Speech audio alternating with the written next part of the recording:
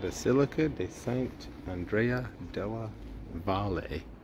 But this is the first one we've been in that's not only huge, look at the ceilings all the way across. The ceilings are insane.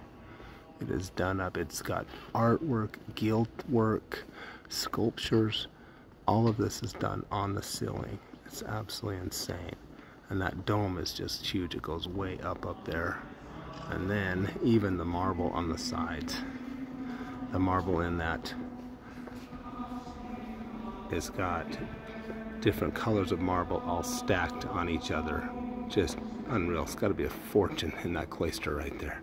That's just the way all of them are like that. this one is unreal.